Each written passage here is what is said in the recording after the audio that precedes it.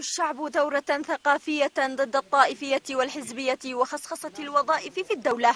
بعدما خرجت نتائج مؤتمر الحوار هذا ما أمل عليه الأدباء والمثقفون من مخرجات الحوار الوطني في الحلقة النقاشية التي نظمها الاتحاد العام للأدباء. اليوم أعضاء في اتحاد الأدباء والكتاب اليمنيين من الجيل العظيم الذين أسسوا البذرة الأولى للاتحاد يطالب بالانفصال.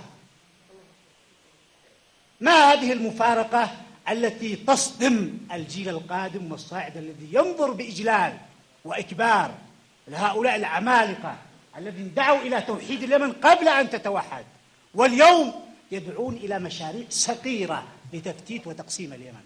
كان لدينا دولة وفساد ولم يبقى إلا الفساد زاد واستشرى هذا ما قاله بعض الأدباء والمفكرين والمثقفين في الحلقة النقاشية. الجديد اليوم والذي انعكس في مؤتمر الحوار أن هناك مشروعا انعزاليا مشروعا ثقافيا انعزاليا وانفصاليا وتقسيميا.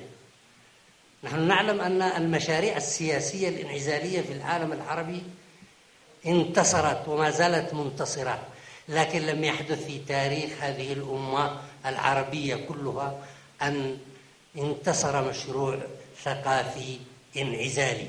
لا للطائفية والحزبية في الوظائف العامة. نعم للمواطنة المتساوية في الحقوق والواجبات وأمام القانون. بلقيس أحمد اليمن اليوم صنعاء. نظم موظفو